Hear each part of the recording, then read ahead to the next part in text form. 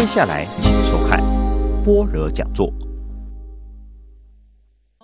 成眼角传佛古道，起手百度菩提园，六度万行弘法利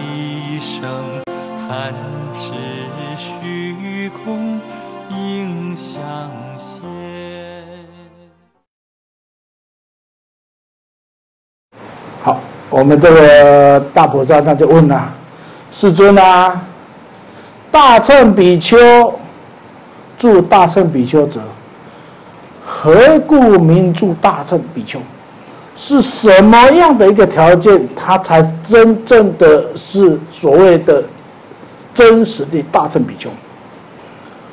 好，他又问：“复以何意？”那到底又复又赋就是又又以什么样的一个这个条件义？这义就是他怎么样的条件修行内容？又以何义？故此大乘名曰大乘，是怎么样一个条件？这个大乘才是真正的名为大乘。都好像在讲大乘阿不大在一起的公司啊。问那个大乘法，所谓的大乘比丘住大乘比丘者是怎么样的条件？那大乘何名为大乘？大乘的真实意是什么？这就是菩萨问的问题。这个问题啊，问的很好。这就是这一本经呢，我非常吸引我的地方哈。好，这个时候呢，尔时世尊呢就告诉了净无垢妙净宝月王光菩萨摩诃萨说。善哉善哉，赞叹他好极了。问的很好，其实这个善哉善哉有一个很重要的意思哦，问的时间、时机都很恰恰好。善哉善哉，一方面赞叹大菩萨群法具足的内容，然后说问的好，啊。尽无垢妙尽宝月王光菩萨，汝能问如来此甚深妙义？他说：“菩萨，你能为众生问世尊的甚深妙义？就甚深法义。这甚深法就是大乘法。你能问此甚深法？”他说：“善男子，善思念之。”那就翻了善思念之。其实，在大乘司法会里面，他就再多一个。谛听谛听，善思念之。那他这就直接，你要善思念之，一定要很专注嘛。说谛听，他就这里他就没有把那很特别的又把它翻译出来。善男子，善思念之。这善思念之哈，就是你专注听完之后，你有没有朝这个方向去思维，而且是一直不忘的。又能够呢，朝这个方向去完成功课，才叫善思念之。有时候我们听法听一听，听了听过了就听过了，你有没有朝这个善思念之？有时候我们要问问自己，你有没有善思念之？你有善思念之，照理讲修行不应该起这么大的烦恼，烦恼一起肯定会有。但你善思念之，你就应该会破烦恼啊！就好像你心中有有智慧，你就不会有黑暗的烦恼。就像有阳光所照射到的地方，绝对不会有黑暗呐。因为你会善思念之，你就不应该会起烦恼而动摇了你的修行啊。那我们难就难在我们很不会善思念之哎，可能在座的菩萨里面比较会啦。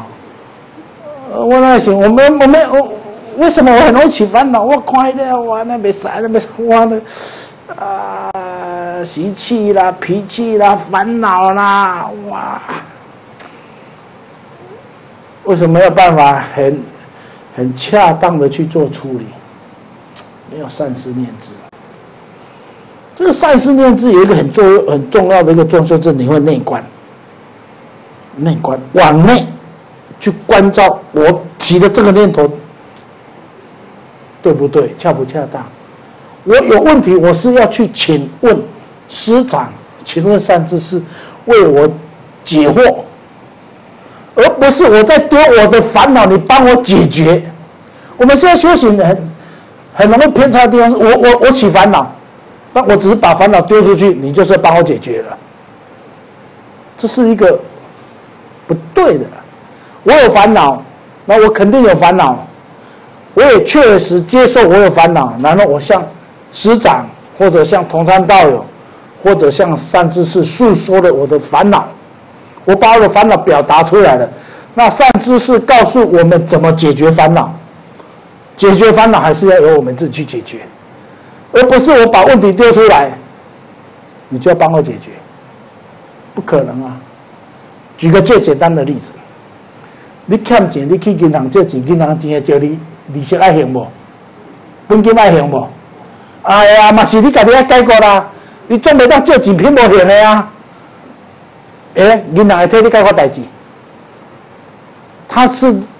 告诉你解决问题的方法。好，那你有什么担保品？那我借你，我借你多少钱？那你可以把你问题解决了。解决之后，你还是慢慢的要还啊。我是举这种我们世间法来做一个譬喻的哈。从修行上，我有烦恼了，那我向师长，我向善知识去表达说，我起了什么烦恼？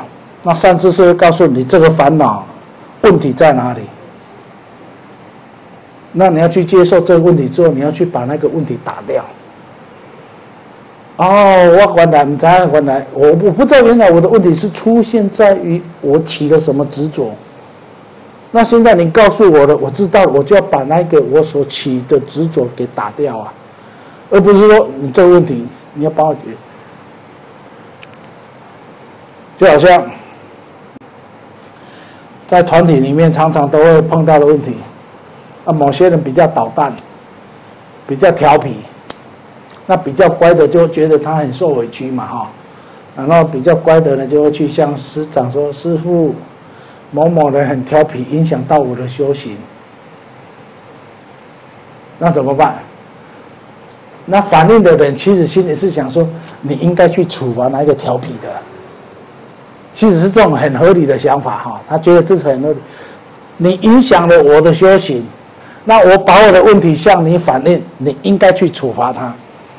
但是师长会不会一定这样做？不一定哦。师长会跟你讲，你既然这么用功，你也了解到他的调皮，他有他的根基，他会告诉你，你应该做怎么调？你可以去包容他，你可以不去跟他计较，你应该很安住的在你的法上用功，你不应该这么轻易的被他的烦恼而影响了你的坚定啊。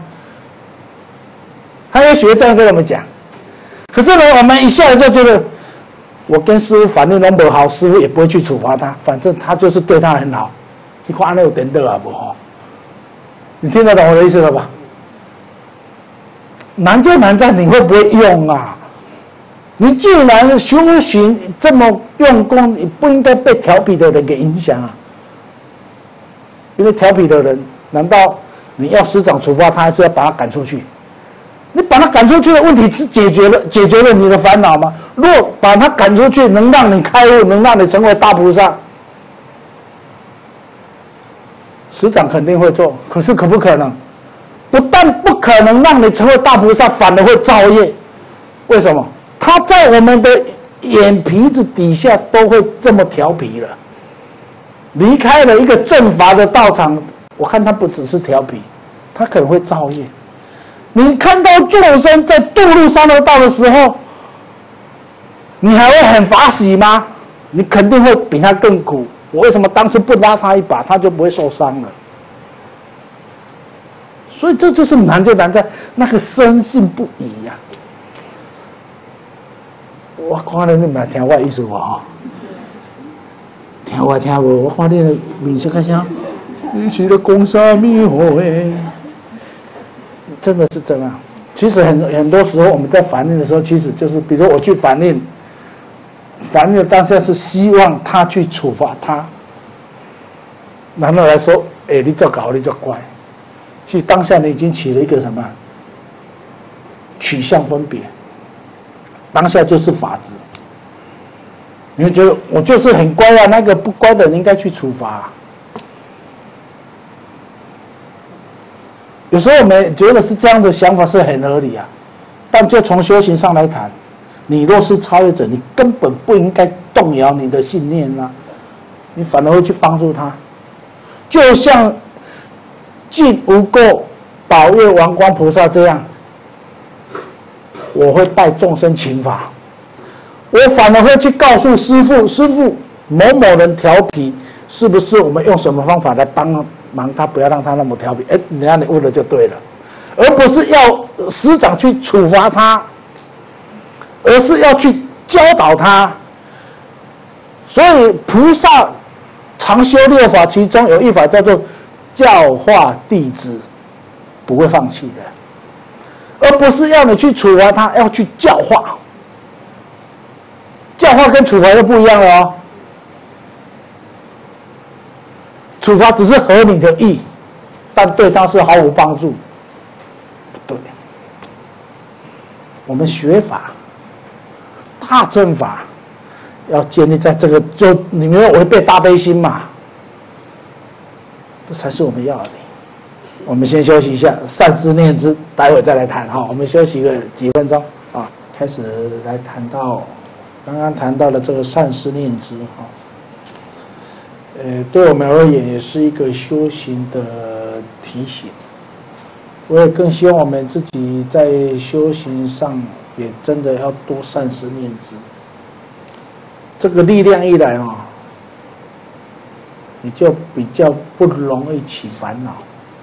纵然你起烦恼了，你也很容易放下。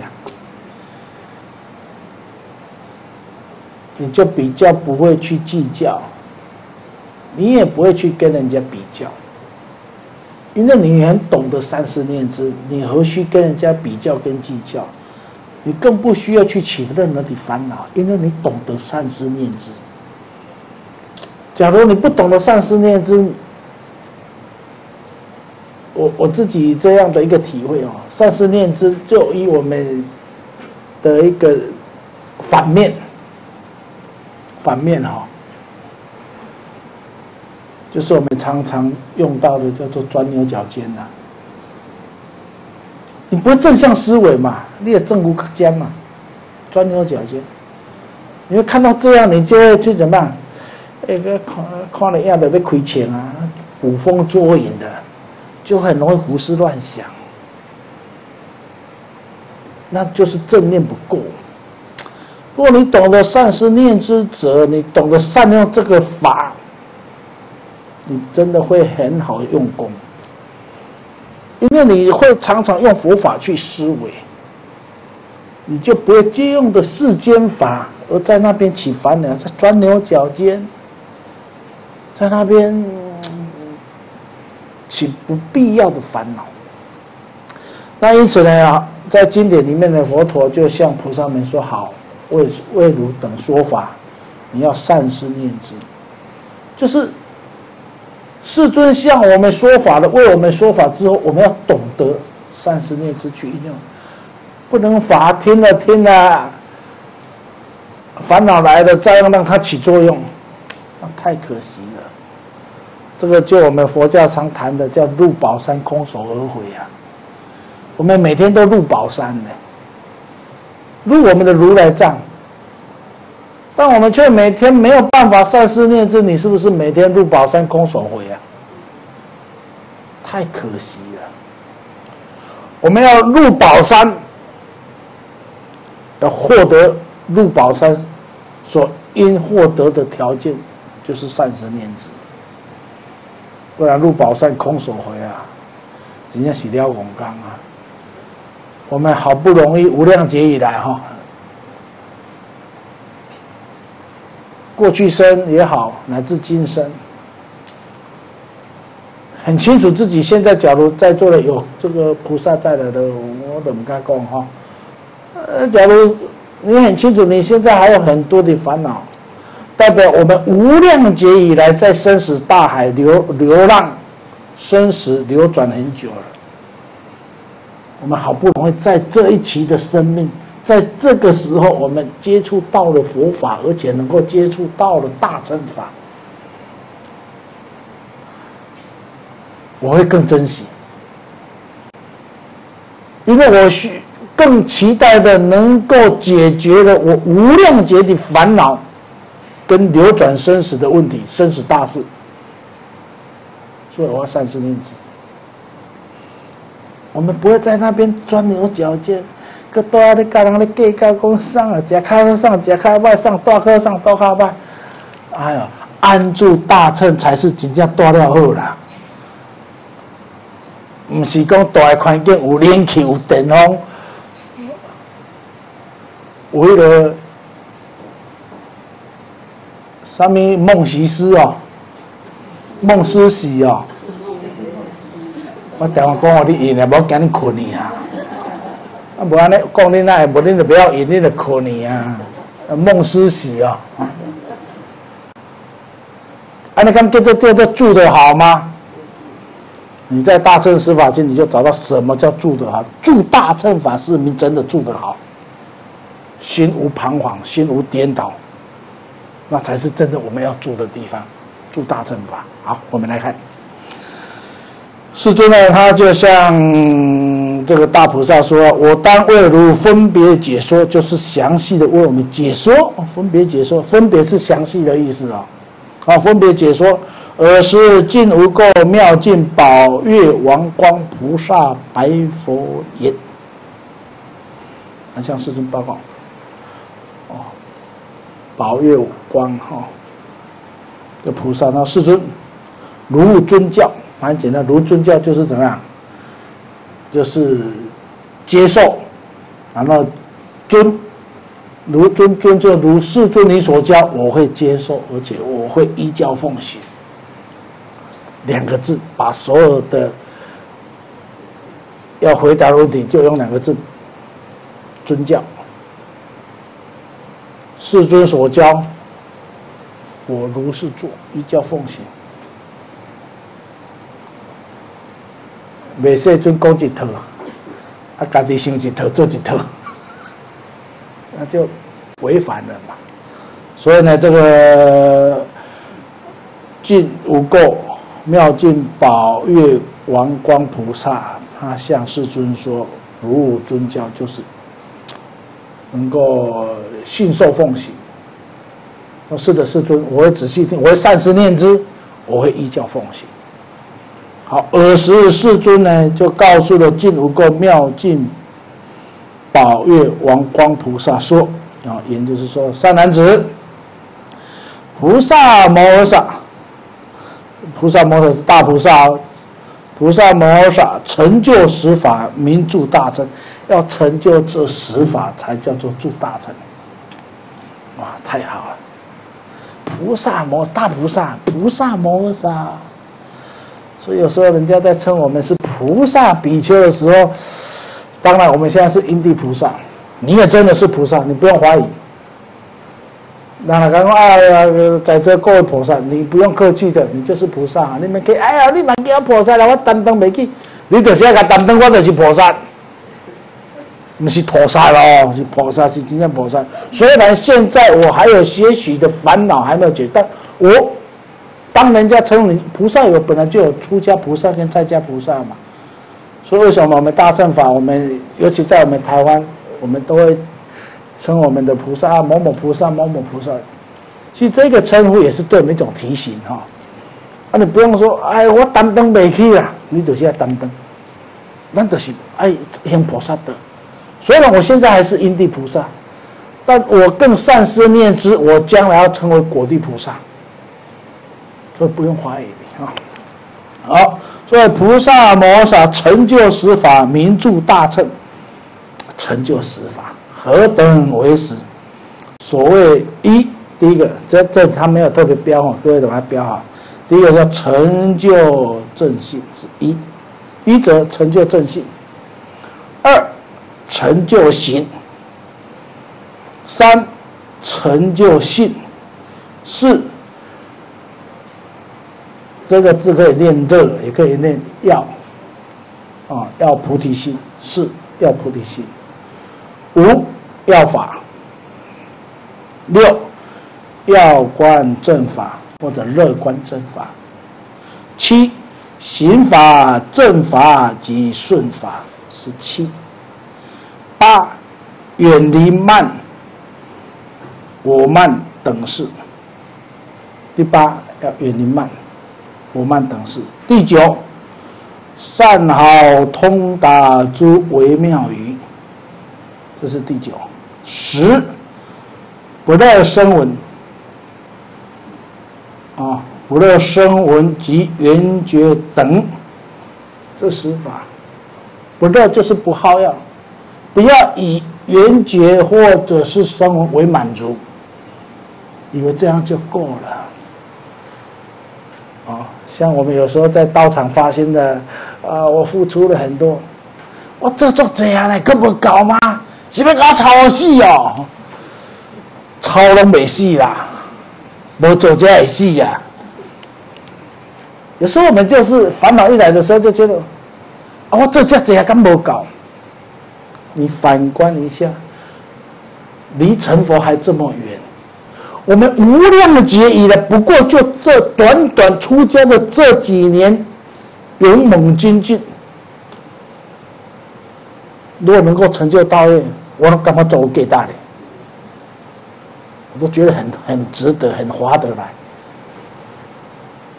我们不是一般社会人士，做五休二呢？做五休二听好不？啊，这我刚学人刚叫周休二日啊。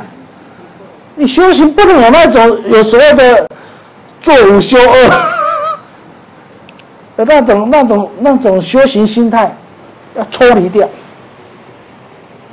我们的修行心态是很健康的。什么的健康？成就正心开始要谈了，不然我们觉得我应该做了多少，我应该就要休息多少。若你常常在一种所谓的对等。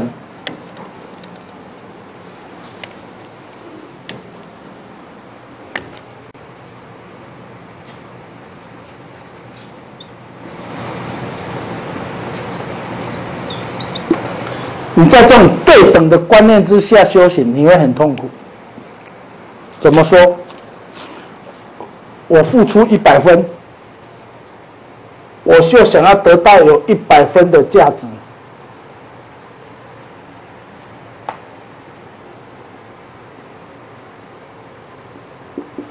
我付出一百分，我就想要得到一百分。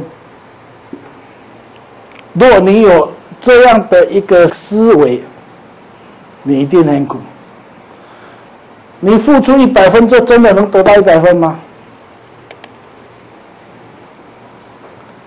不一定。但是是你付出一百分，你若能以无所得为方便，你也许所得到不止一百分。就我一直在举例，我用这一期的生命好好的行大乘法，助大乘法将来能够把我的生死大事所解决，我而后无量劫都不用受苦，谁划得来？难道我修行一天，我只要享受一天吗？我希望我修我付出一天，这一天是为断烦恼，我尽未来尽不再受苦。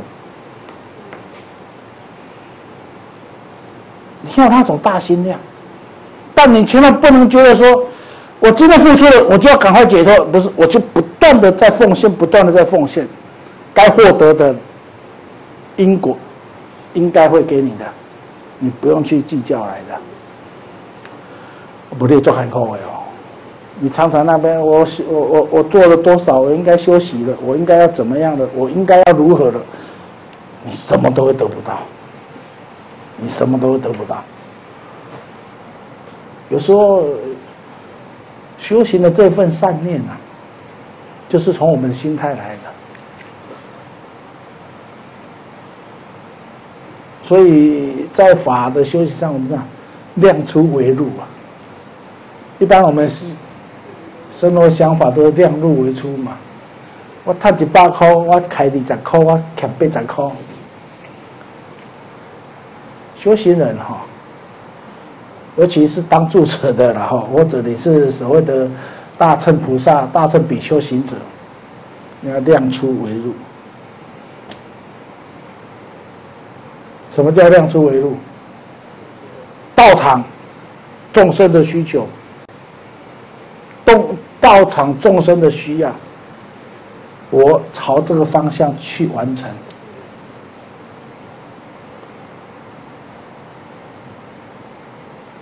有时候举个譬喻哈，有时候我们都会常会跟人家。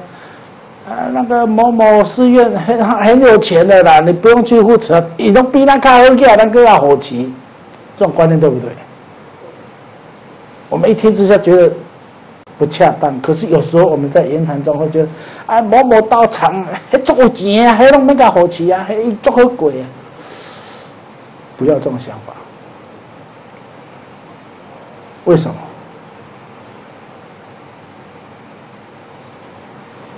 他要度的众生是这么无量无边。如果用我们自己居家的修行环境、思维模式去看待一个道场为度十方一切众生，你得用讲还有钱还没搞好起啊！你不但是障碍了自己，你也障碍他人修行。大宝积经的普弥菩萨会谈到。这种人将来会没有智慧，绝对是堕入三恶道，鱼吃报，鱼吃的果报。得个因为什么？你障碍他人修行吗？这个道场不管他多么有钱，这些钱是不是属于他的？都是十方的呢。我们一个个体怎么能够跟十方比呀？那真的是足钱给呢。那你到底会靠钱，敢是咱的是空。我们不过是在耕耘，在播种，然后呢去成就道业。所以那个修行的心态，它是很健康的。那我们在道场，我们奉献。纵然有人护持的这些种种的经济收入，我们在银行里面纵然存了一些一些款项，难道就是私人？难道就是我们的吗？不是，为菩萨道转成净财，清净的净财财宝财产的财。为清净的财宝，然后护持道场，成就道业的。以以前我也常会听到，哎，某某道还有几还没搞好齐啊，没没没没，不要这样想。你觉得你当下做得到，你要护持，你就去把它护持。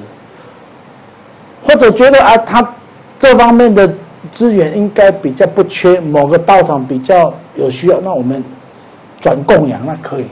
但千万不能去障碍他人的供养。为什么？信呢？接下来要谈的信，因为我深信他这个道场，我深信此道场是为弘法立身。我信是这个世尊所教导的法，而不是这个环境，而不是我眼睛所看到的这个。表法上的，我看的是更深层的，这个更深层的就是因果，就是因果关系。我不障碍他人修行，我更成就他人的用功。哦，好，我们再来看了。好，他说呢，善男子，菩萨摩诃萨哦，成就如是十法，名著大乘。要成就上面谈的这十法，才叫助大乘法。说善男子，菩萨摩诃萨，啊，成就不参取柔和行，柔和行，彼能信诸佛。如来正真正觉无上菩提，善能信一念中，哦，三世诸佛智。好，我们先谈到这里哈。他这里要谈到，第二要先谈到信。他说：“三男子菩萨摩萨，说大菩萨呢，成就不残取，这点成就信，不残取。”残取，残取就谄媚，取就是不正嘛。谄就是我们的心谄媚，取不正。所以呢，菩萨怎么样？要不谄媚，哦，要正直。然后呢，柔和，柔和型就是柔软型。这个柔和型哦，用我们的牙齿跟舌头来比，牙齿动下久还是舌头动下久？一般人来个喙齿，喙齿若歹啊，咱的喙齿也歹哦。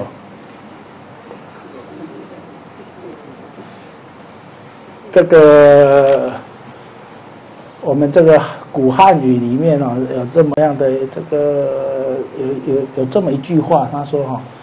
舌舌头，舌舌头因柔和，啊，中不损。牙齿齿因坚强，啊，中受伤。听意思不？所以爱来听经应该怎样啦？舌头啊，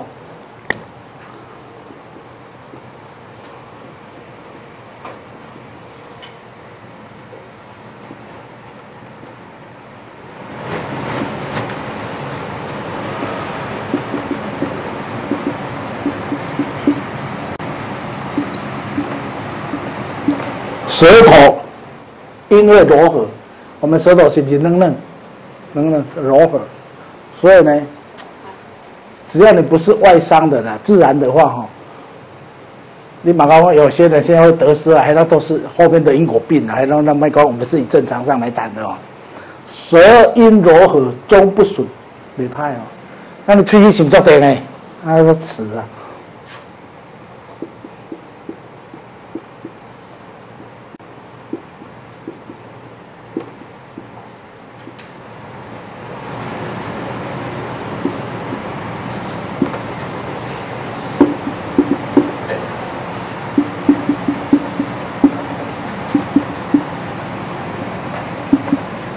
此因坚强，必受伤。出去做地，大家咧食物件咧夹咧夹，哎，出去做嘢袂歹。你听人倒过出去，你听到假舌头的吧？出去啦，都差不多无命呀啦，哈，对不对？我们就从这里谈如何更坚强。呃，要让我们去思维是如何是什么意思？在修行上的柔和，残取，残取就谄媚心不正。从心，我们的态度，你修行的态度，你为法而来的心，应该是很清楚的，不谄媚。修行要正直，柔和呢是一种柔软柔顺，是通顺。这个柔和呢，是一种。有坚强的意志，他不是软弱，他是很清楚、很明白，很清楚、很明白，他要做什么，什么应该做，什么不应该做，哪一些是烦恼，哪一些是不可爱的，他都很清楚，他的抉择力很强。有些人看起来这个表面。展现的很刚强，但是呢，假如心性不柔和，你很容易受伤。所以呢，我们才能叫做态度。那我们佛法常会教我们要勇猛精进哦。其实勇猛精进就是不残取柔和，才叫勇猛精进。勇猛精进不是你做代志做坚呢，我把自己做的很坚，硬撑的人，那就真的是柔和吗？真的是用功吗？不一定呢。有些人做事情是做坚的啊，啊，警告过啊崩溃啊，那代表他的没有调柔啊。我们在做大乘法，第一个要成就正性，就是要先懂得调柔，调柔我们的心，不残取，不谄媚，要正直，就是很坦然的面对一切。要先有正直的心。所以有些人做但是做坚做坚做坚做坚，看起来他很坚强，其实他是很软弱、很脆弱的，就像我们的牙齿，牙齿看起来是最坚、上顶的哈。出去哪里拔的，差不多才五岁啊啦。我最近这几年哦，我唔知我那出去啊倒计倒不哪去啊哈。哦哎呀，所以这个电控控无问题。哎，想想年轻的时候，睁开感觉规矩杀了鸡哈，啊，这都未使鸡鸡一起几啊万块，硬碰硬绝对会怎么样？受伤。你要懂得调柔啊，那怎么调柔？善思念之。我们常常有时候就是在法上的用功的拿捏，勇猛精进，不是一起冲一起冲一起冲。就举个譬喻，这个马拉松比赛跟这个一百公尺，一开始你的目标就不一样，你的操作就不一样了。一百公尺，那就一开始的冲。但是它很快就结束了，为什么？一百公尺而已嘛。我们这个行大乘法，那是长长久久的啊，慢慢的调调，能够坚持到最后的，那才叫成功的。不然最开始的拼的冲啊，连那个淘汰啊。我们在这个生死大海当中能够不被淘汰，是因为你懂得调龙。调柔不是干干贵贵哦。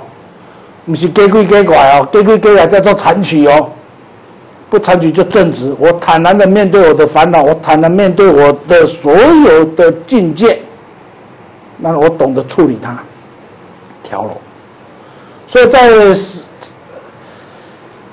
道场里面有执事，我们当义工的也有执事，我们透过执事是在调柔我们的心性。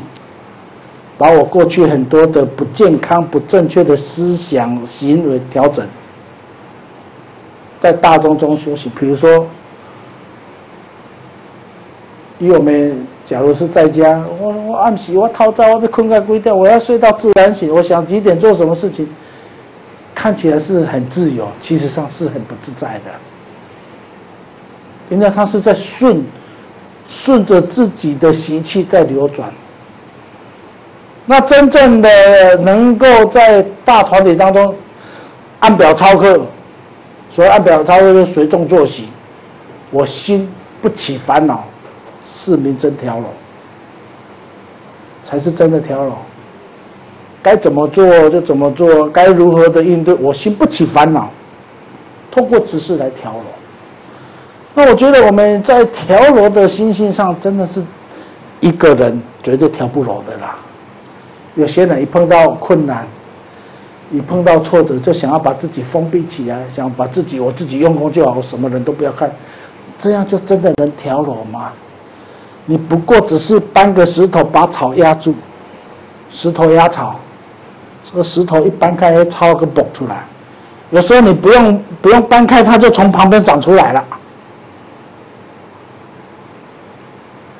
真正能处理烦恼者。是懂得调柔，调，这个调是让我们懂得怎么样的透过我们的言语行为，难道能够很柔和顺畅？所以你看到在大乘法里面，他第一个教我们的要先懂得调柔，好，我们看了第一个成就正信呢，要先成就不残取正直，正直、坦荡、柔和型。这个柔和型就是平常我们的调柔，一个心性的调柔。我把这一段再把它解释清楚。它柔和型呢，什么叫柔和型？比就是说我们你能信，能信诸佛如来正正正觉无上菩提。你深不深信佛是一个大彻大悟、大觉者？你相不相信？那你相信你对佛所讲的话，你会怀疑吗？你还要质疑吗？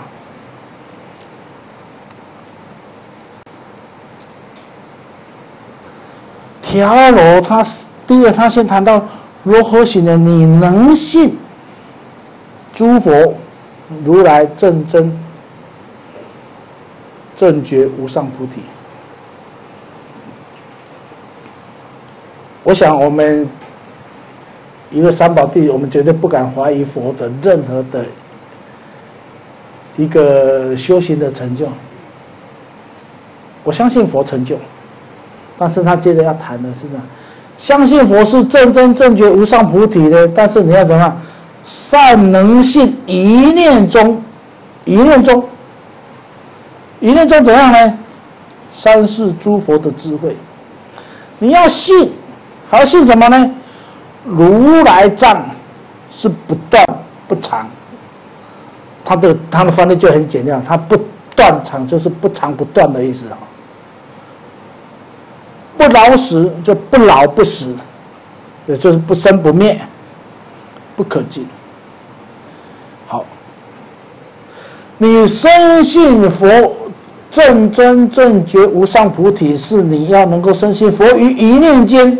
三世诸佛之智慧是清楚的，佛的智慧是通三世，不是像我们这个凡夫若看干净的。诸菩萨是看过去、现在、未来，所以你要不要深信因果？你现在种什么因，将来得什么果？你深信的话，你敢造业吗？你敢违背你的善念吗？你肯定不敢的，所以啊，我深信佛成佛，但是你要深信佛成佛，你要深信佛教我们的一念中，你的一念中是贯穿三世因果呢。你一个新的动作会不会影响你的未来？一个念头，有时候不要说一个念头啊，一通电话来就改变一个人的命运了。有哪几通电话，有哪一句话，听到电话，伊两个就烧命啊，对不？有哪一通电话卡来，可能就改变了我们很多很多你所想不到的。最近不是这个，呃，社会新闻这个，你们升级辛苦出来都无命呀。何况是一念间，所以要不要善思念之？要不要保持真念？你你深信诸佛如来正真无上菩提，那你就要深信你一念间三世因果，你要深信因果，你敢造业吗？所以你就要调裸了嘛。你怎么会去跟人家 get o 所以我们会勇敢的面对自己的错误。我有错我就改，我就调了。我卖杠子，我知我唔对，我就改变。我知我的言行，我的动作不对，我就改变。就是这样，你就是深信了。你不要错了还要找理由来合理。我的错是因为某某人让我。看着不顺眼，所以我才会生气。你为什么你的生气要找一个对象来说生气的原因？生气既然生气是不对，烦恼既然是不可爱，你就不要生气，你就不要烦恼。就这么简单。不管你看到谁，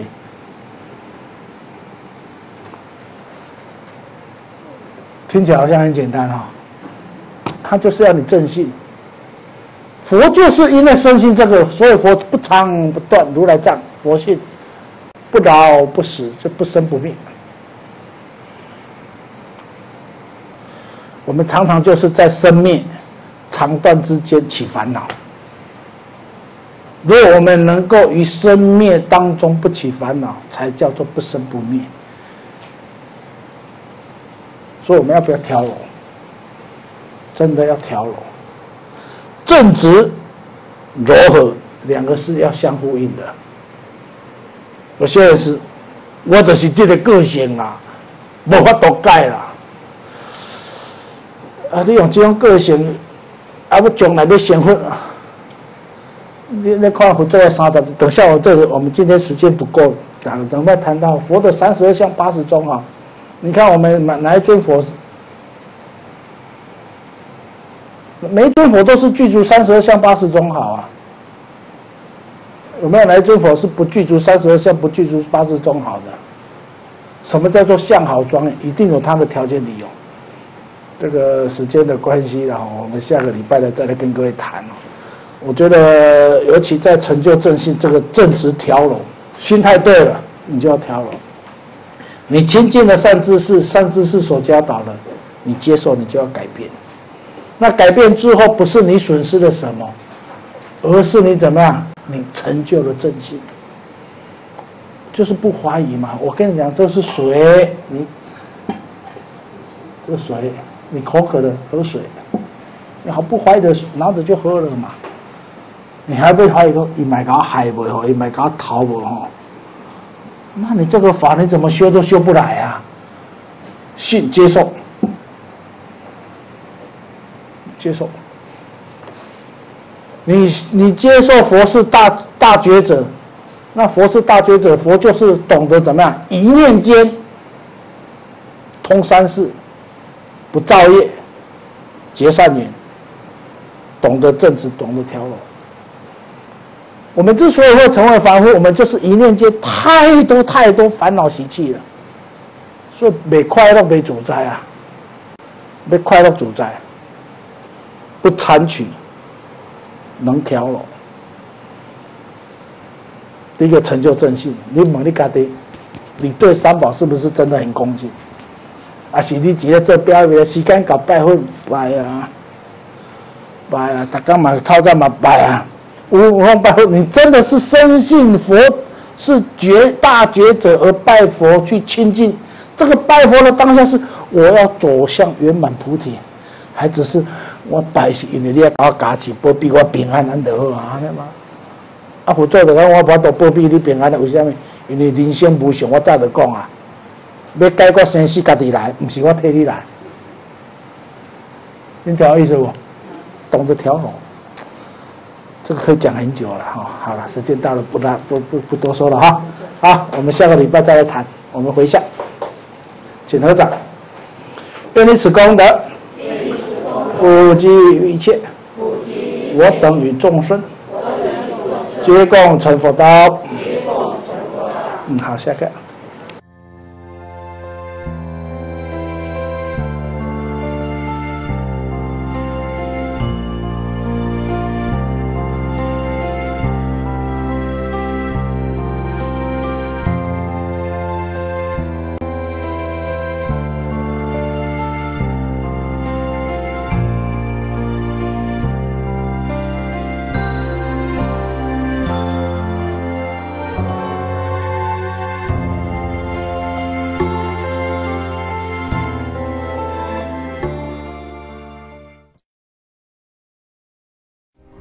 是台湾救狗协会及救狗园区，基于众生平等、慈悲相待之理念，慈悲置业于二零零七年成立台湾救狗协会。原本是以收容弃养之流浪狗为救护对象，使其免遭扑杀。后因收养的流浪狗日益增多，进而成立专门照顾流浪狗的养护园区。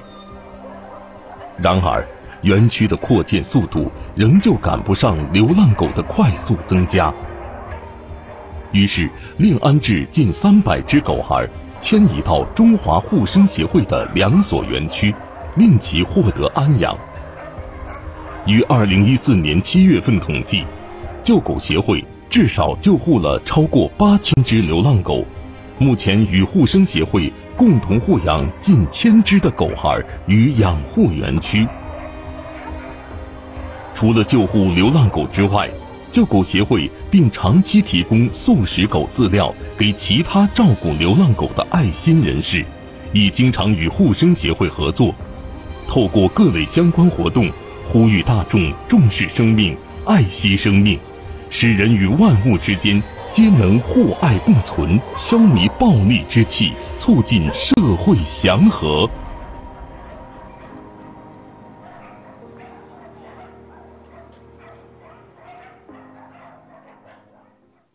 佛教慈悲置业基金会台南分会书法班招生，方朝忠老师教授，日期七月十三日星期三开始，每周三下午三点到五点，招收对象国小、国中生，请提早报名。报名电话零六二七一六六一六零六二七一六六一六，地点台南市永康区永大路二段三百四十五号。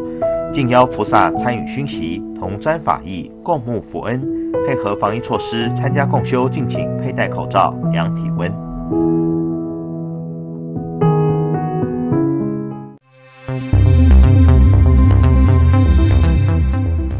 大家好，我是陈小芳，今年八十三岁，已经做好第三剂。COVID-19 疫苗，拍疫苗进前都爱食好饱、困好饱，确定讲家己身体状况确实真正常。中辈都有厝的人，或者照顾人陪伴伊哦。到拍疫苗所在吼，会有医生甲你评估，假使讲有啥物问题，嘛会用请教医生哦。千万甲闭起来，拍完疫苗特别现场的，至少休困十五分钟以上。感觉讲家己身体无无爽快，就用等于厝休困啊。等于厝了后，爱特别注意家己身体状况，加休困，加啉水。假使讲若感觉身体无爽快，就参照我呢发烧发超过四十八点钟的时阵，哦，感觉讲呢喘气喘袂离，会晕会戆，心肝头跑不菜，啊，佮专心的去浸哦，咱来赶紧叫厝的人带来叫医生看啦。我是陈小芳，请你跟我共款，手闭起来，来去做疫苗，提升保护力。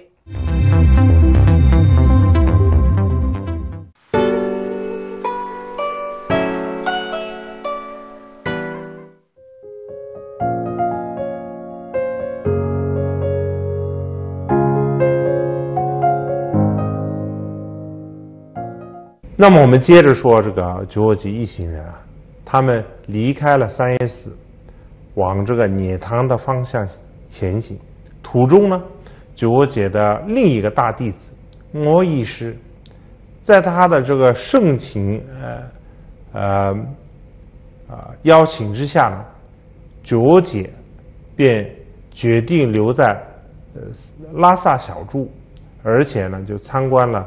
就现在的这个大昭寺，九恶解刚到大昭寺门口的时候，就在迎请他的队伍里面，看到有一个身材高挑、皮肤泛白的一人，对他大喊：“欢迎大奔之大胜利胜利！”见到这一幕呢，九恶解呢立立刻翻山下马，要。冲过去，啊！大家呢，呃，一旁面面相觑，一脸茫然，猛然就问道：“啊，请问您这是在做什么？”啊，九我姐说：“难道你们没看到有一个皮肤很白的人吗？”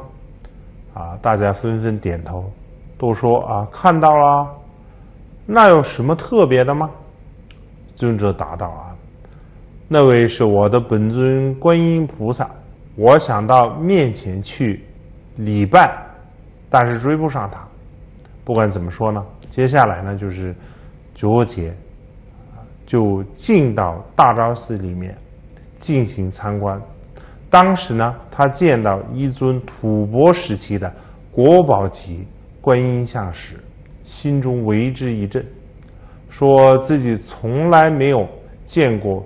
比这更惊艳、更殊胜的观音圣像。他跟个观音本尊呢毫无二致，于是呢就做了许多许多的供养。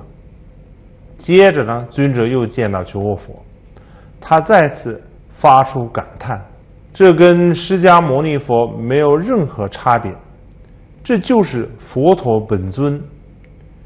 于是呢，就马上找来了一位尼泊尔，啊，也有可能是印度的一个画师，吩咐他画一幅唐卡，要跟九卧佛一模一样才行。于是呢，这位画师就画了一幅五尊佛陀。九卧姐一看呢，说道：“啊，不像不像，重新画。”所以呢，画师又画了一幅。可九卧姐呢，仍觉得。不够满意。总之呢，就这样反反复复，一共画了七次。终于呢，到了第七次的第七幅的时候，九姐才呃呃比较认可。于是呢，就把这幅唐卡留在了他的身边，作为这个祈祷的对象。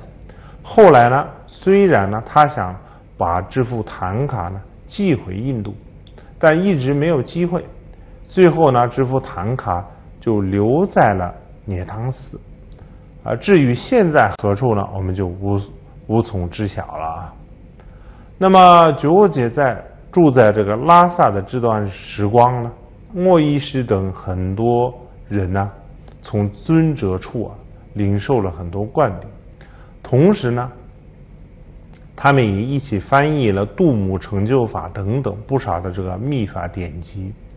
尤其是在莫医师的恳求下，九姐开开演了《中观新论释思则验》，当时所讲的这些内容的精华和口诀呢，啊，都被翻译成了藏文，现在也可以看到。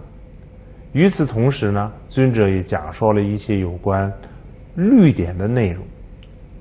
不管怎么说呢，九姐来到藏地之后呢，原本呢心里有一些弘法利生的呃想法和打算，比如说呢，上堂课我们提到啊，小乘有四个根本部派，大众部、说一切有部、啊上座部和正量部，而当时呢。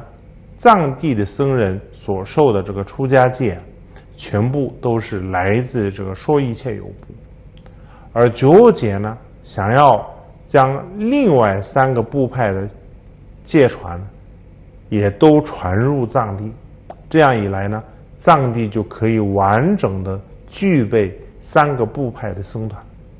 但是呢，由于在此之前呢，印度的部派之间。呃，就有互相争吵不和的先例，因此呢，总敦巴就觉得藏地会有类似的情况发生，所以呢，就制止了卓杰建立四部僧团的打算。所以呢，呃，甚至今日呢，藏地所有的僧众都是属于说一切有部的僧团，僧团。总而言之呢。九姐的这种种种计划呢，最后最后呢都未能成实现，连他自己也感叹道啊，不让我讲秘法，不让我讲这个朵花金刚歌，现在连僧团也不让我见，啊，那我我来藏地还有什么意义呢？后来呢，几十年之后，米勒日巴尊者也曾经对冈波巴。这样说过，藏族人太笨了，啊，不让阿底峡尊者这样的精通秘法的人讲述。